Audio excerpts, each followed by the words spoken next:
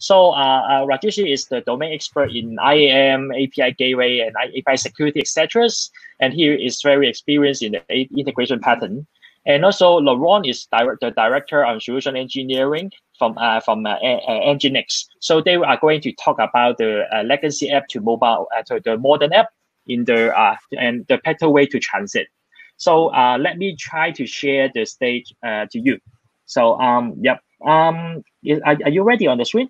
So I can see yeah maybe you can hide the the the, the yeah okay I I I I live now here. Good. Okay. So, so thanks, Patrick. Um, yeah, we we wanted to help most of you to face, I would say, one of the challenges that we're uh, hearing here and from a lot of you. Um, mainly how to uh, find a good way to transition from uh, legacy app as there are requirements to uh, support them uh, into, I would say, the more modern way of supporting those new challenges and new uh, applications. So um, in, a, in a short, we're going to try to uh, state the, the problem and, and uh, I would say express exactly what we're hearing and what the challenges that uh, most of our uh, customers and yourself are facing. And um, being, I would say, wise and I would say uh, looking at the, the, the problem from an engineering perspective, how could that problem be addressed and what solutions are uh, uh, available to address it. And after that, we'll uh, wrap up with a few takeaways and uh, and a few resources made available to you. So, Rajesh. Thank you, thank you, Laurent. well, if you can uh, bring your page up, not it. Yep. I can't, can't hide my, my camera. Uh, that's okay. You can actually just minimize it. Yeah, that's, I'll see. So um, let's start with the, the microservices. There is no secret uh, about the microservices. I don't want to lecture anything about microservices. I'm sure if you guys are here listening to API Days, I'm sure you would have gone through a lot of uh, journey around microservices. Certain things I just wanted to highlight here is about uh, almost all the enterprises understood what uh, microservices can do for their uh, for their business they want to expo- expose their uh, capabilities, their uh, data uh, to conduct their business to their consumers quite easily. And also they want to do the time to market quite easily as well, quite fast, I mean, in agile fashion. So majority of the enterprises are moving into uh, this microservice approach because that helps them to uh, get into the next level in a more agile fashion we can see that uh, as almost uh, uh, the uh, enterprises which we have visited uh, in the past uh, couple of years, are seeing increasing like you know day by day to around thousands of APIs they've been running these days. looking looking like you know four years back, that's not the case.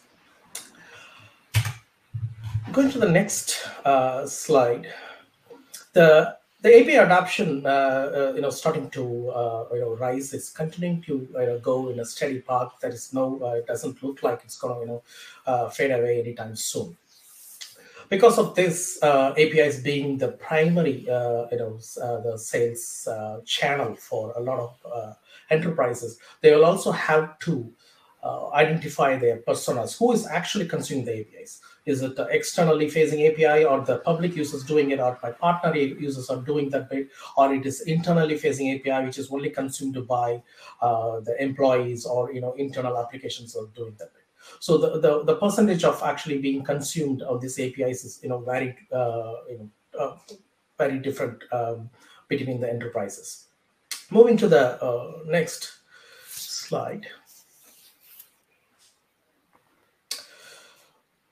The API is not old. API is API was there for, for a long period of time. It was called a little differently back in days. We used to call web services. We used uh, you know monolithic applications to expose uh, services. But the need for uh, the agility, the need for opening up the business, become really really uh, in in a fashion. During our monolithic side uh, world, we used to have like a three-tier architecture. We had a complex protocols uh, like XML and so to be honest, back in days, it's not complex. That's the only option we had under persistent deployment.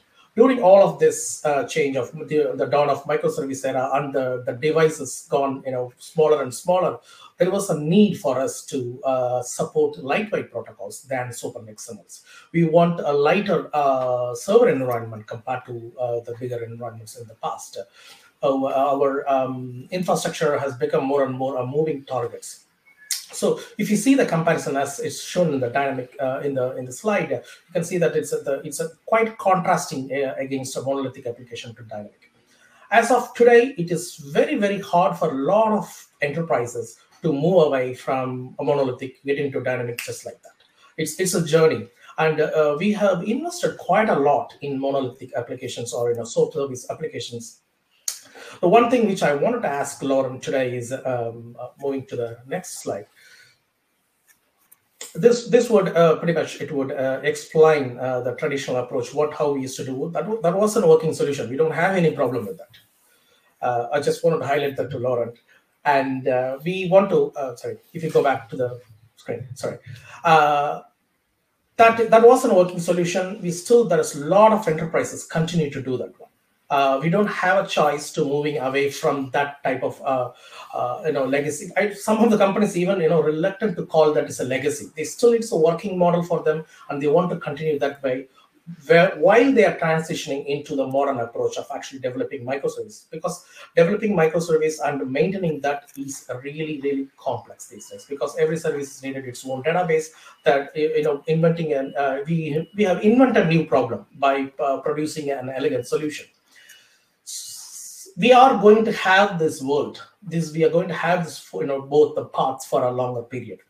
So, Laurent, could you please explain, like, how could you, uh, how could you actually, you know, uh, help us to uh, move from this legacy world or you know, traditional world into this modern application world without compromising the speed? Same time, I don't want to compromise the speed.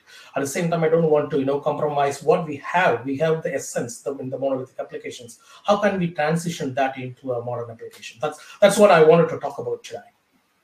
I mean, Good. wanted to Thank hear you. from you. Okay, so let me try to answer you, Rajesh, and to answer all of uh, our attendees here. So yeah, like, like, like, you said, there is a, a, way and there is a need, a strong need to maintain that uh, legacy. And as you said, it's not forcibly legacy, but it's critical to the business in most of the situations. And why that? Because uh, uh, the, the, big fat applications used to have connectors, used to uh, uh, store attributes in different databases, used to rely on different services. So all of those uh, extensions or connections are really required and they need to be maintained live into the organization and need to be maintained live into the production environment. So uh, that's a real challenge that uh, most of our customers are, are facing. And uh, when I say most of our customers, I could easily uh, name, for instance, the service providers. Service providers are, are I would say, legacy uh, owners by default because they, they invest heavily in huge equipment and they don't want to ditch them out uh, uh, uh, on a yearly basis. And while they still have those, those legacy constraints, they have to support new uh, protocols, the old and the new, but they also have to uh, de develop new use cases. Uh, those use cases could be based on the old protocols, be on the API or on the trans traffic level type of things but also they have to uh, develop the new use cases with the new protocols. And this is where I think there is a, a, a big challenge to face for our customers. So maintaining that legacy uh, help help us and put us in a position where we have to um, address these kind of issues by sometimes transforming the architecture and inserting components uh, to handle uh, those traffic aspects, meaning that uh, for instance, introducing kind of traffic broker, uh, kind of architectural uh, brick, which will understand the traffic, um, analyze the traffic, and transform the traffic if needed. And based on that, make the, the, the appropriate, I would say, routing decision to divert traffic to the appropriate, I would say, infrastructure piece or the API gateway, which is uh, relevant for that specific traffic. And that is a real challenge because, again, this has to be maintained uh, accordingly to the uh, uh, support, the support contract that the, the, the, the, customer would have, and according to the user base, which is probably still using those old protocols. So in that sense, uh, we, we see, and when we discuss with most of our customers, in order to maintain those uh, legacy uh, environment and to start to introduce, I would say, little by little the new use cases and the, the new protocol, uh, they introduce a, a layer for the traffic management piece, which of course needs to be aware of all the protocols and then uh, probably help to divert those traffic towards the uh, right uh, broker, traffic broker to understand this traffic and then make the appropriate routing decision. So that kind of uh, add, I would say, some layer in terms of complexity and sometimes make uh, the maintenance and the transition to new use cases a bit more complicated, but somehow it helps as well to maintain the legacy uh, infrastructure in place and to handle the traffic accordingly to the to the to the new needs. So, in order to start to answer um, Rajesh with his question, what if we come up with a solution somehow which kind of combine uh, the traffic management piece and the traffic broker piece, meaning uh, some technology or some technical brick which can convert, transform, manipulate the traffic accordingly, and then uh, divert the traffic toward the right API gateway in order to maintain uh, all of those uh, uh, pieces live. And what, what if that solution or that combination of technology could also enhance a lot of the uh, limitation that most of our customers are, are, facing when they have to handle new use cases and uh, um, legacy.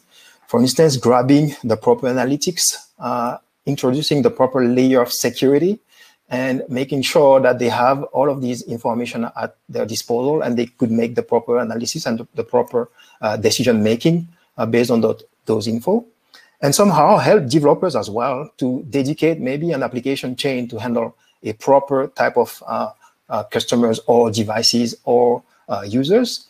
And a proper, I would say, uh, application chain or client chain, meaning uh, isolating that specific traffic and specific use cases from the, uh, uh we say, infrastructure level and diverting it towards the application chain from a, I would say, natural flow in a proper manner.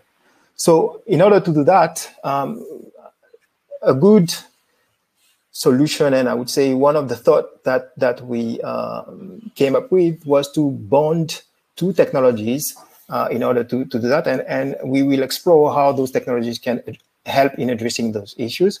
For instance, the uh, F5 technologies, uh, name it TMOS for Traffic Management Operating System, which is the uh, OS, which is uh, the heart of the technology, and Nginx as well. are, I would say, both technologies that could work together in order to support those legacy protocol and provide a few tools to help and to uh, insert some kind of flexibility in the way that we can manipulate and traffic and, and uh, transform the traffic. And if that solution can uh, be considered, uh, it would be great to have it, I would say, as a piece of software and provision it uh, accordingly when needed and decommission it uh, when, for instance, there is no other need to uh, get those customers or those, those legacy uh, infrastructure um, in place. Uh, that could definitely help a lot of uh, our customers, and, and that possibly would be a good answer to your question specifically, uh, Rajesh. Okay, so how, how to do that, and what are the technical, um, I would say, uh, pieces that we can play with in order to do that? The first one is Node.js on F5, um, and I probably would, would think that a lot of people would, would say, yeah, F5, the hardware company, it's not only that, I would say. TMOS, for instance, has, uh, I would say, uh, a lot of uh, um, connectivity, a lot of affinity with Node.js, um, providing the fact that uh, all of the, the pieces related to the traffic management are handled by the uh, operating system itself that exposes, I would say, a lot of uh, flexibility to the developers through Node.js. And uh, why Node.js? Uh, just because Node.js is used by many of the, I would say, uh, tech um, companies. You name the Netflix, the PayPal, the Uber, for instance. All of those companies are huge, I would say, contributor and users of uh, Node.js.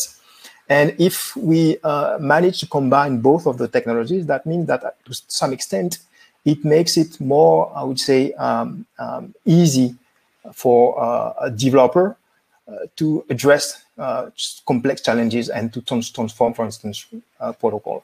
So supporting Node.js on uh, F5 TMOS, for instance, help and opens, I would say, a huge set of possibilities where it is, um, I would say, doable for a developer to implement any uh, NPM packages to transform the traffic. For instance, the XML to JSON is one that could easily be uh, ported on that onto that technology and then uh, uh, handle, I would say, kind of a gateway type of protocol uh, before the API gateway or just being the API gateway itself. And then uh, support the legacy protocol and the legacy API protocols, uh, name it XML, and then transform it into JSON and REST API, and then have a simple infrastructure to handle the traffic and to handle the, the, the application.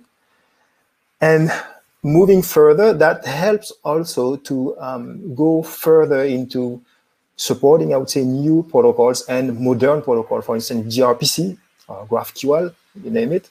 Uh, those protocols are also implemented on top of Node.js, and the libraries are uh, available on uh, GitHub. So it gives, I would say, uh, users a uh, capability of bringing those libraries on top of the F5 TMOS, uh, implementing those libraries, maybe tweaking those libraries, and then having the ability to uh, support this new, new protocol into an existing application framework without again reinventing or re-engineering uh, the whole the whole infrastructure. And for instance, I, I mentioned uh, rapidly uh, uh gRPC, but GraphQL is one of the protocol that we're seeing a huge, I would say, traction with. And having it supported on, on the JS and having the ability to bring it on top of uh, the, the uh, traffic management piece and into that possible solution that we're talking about really helps into having uh, a framework, I would say a tool set to uh, maybe design and prototype, I would say, new use cases uh, on top of the infrastructure. Again, without uh, breaking everything, without, I would say, re-architecturing the whole uh, infrastructure. And that's really something that we're seeing uh, in many instances. And uh, I wouldn't disclose anything, I would say secret, when I'm saying that even us at a company level, sometimes we proceed this way. We want to prototype, we want to prove uh, something is working uh, before uh, developing natively that capability. Sometimes we invest some time into uh, grabbing those type of technology and opening up and testing them and, and proof testing it uh, uh, in real life before uh, bringing, bringing them live into, into a product. Other capabilities which are available, for instance, also on Nginx, JavaScript on Nginx is one of the technologies that could help developers to extend and to support this uh, transformation of protocols from a new world to the old world. Nginx uh, has a proper implementa implementation of JavaScript, which is called NJS, uh, Nginx JavaScript. And it is really supported on all of the uh, instances that we have. So that means that for a developer, it made easy, I would say, again, uh, to extend the capability of the platform, which is uh, being the API gateway, to support these new types of protocol or to transform, I would say, just the traffic uh, accordingly to the, to, the, to, to the needs. And one of the good things that we have seen as well while discussing and while uh, I would say scratching my head on the, on the, on the question that uh, Rajesh asked me, um, it's interesting to consider that NJS um, could support uh, the NPM that uh, TMOS, F5 TMOS is supporting.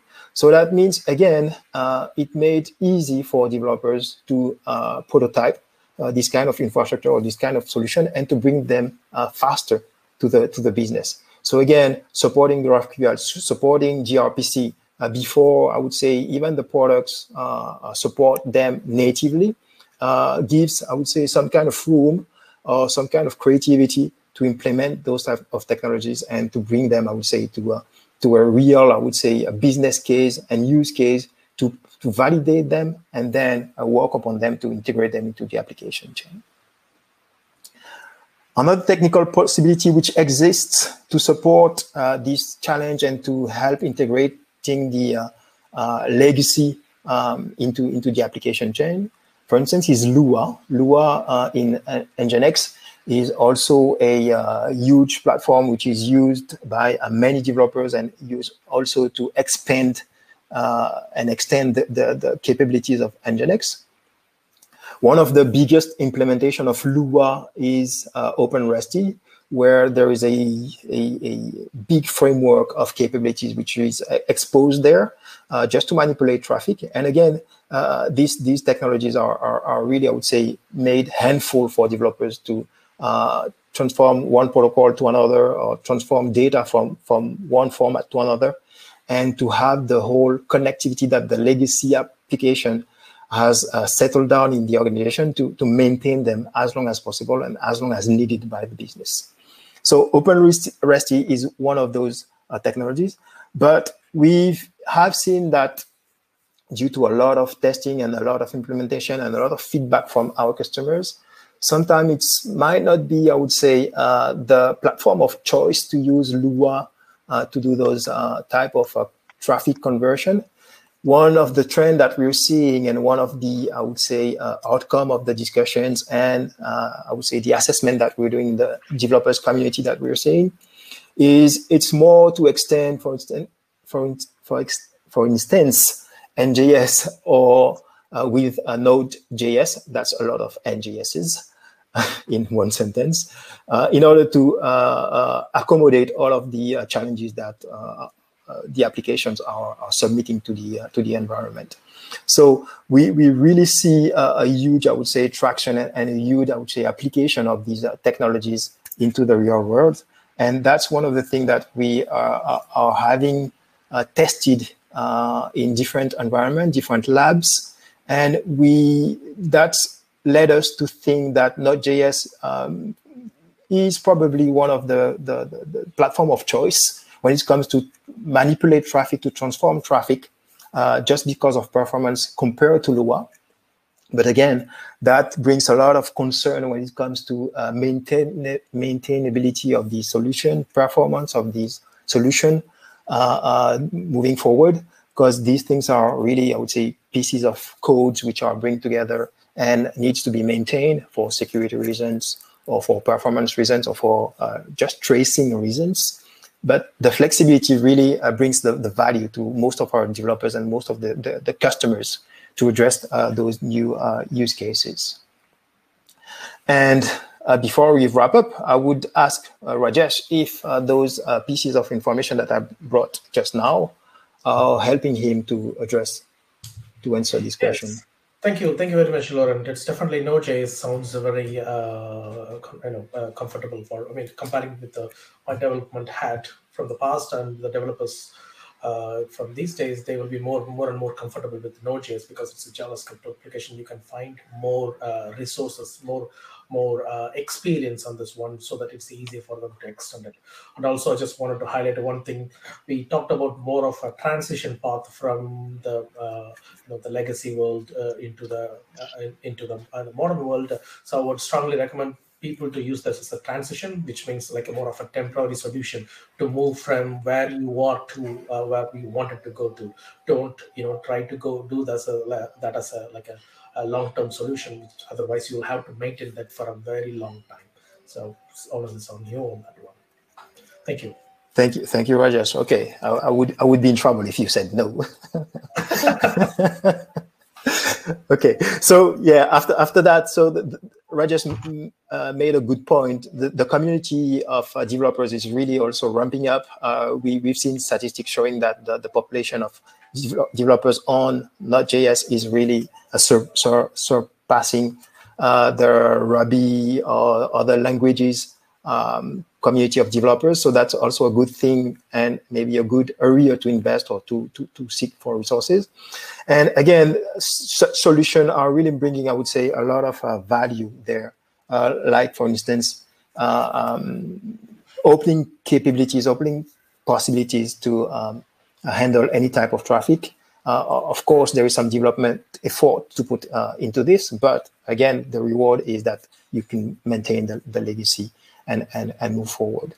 And all of these being based on software, uh, again, uh, like Roger said, th these are things that could be just provisioned, uh, I won't say on demand, but for a certain amount of time and could be decommissioned when needed, and people provision on-prem, in cloud. Uh, those technologies are, are really, I would say, pure software technologies, which are also uh, being, I would say, uh, open to automations through Ansible, through um, Terraform. All of those those, those tools are, are, are handy to, to, to manipulate.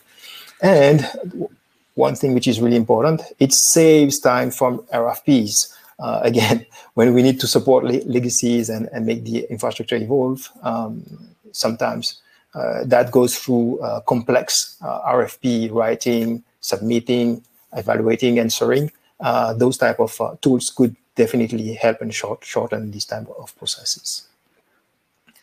So before closing, I think I'm just over the time. Yeah. So uh, thanks, thanks for the sharing. So yeah, just to remind the, the audience that actually uh, Nginx and F5 also got a booth there in the partnership village, so you can actually visit them and also ask them the question because uh, we are one one one out of time, so I can't really get the, the question from the from the public now.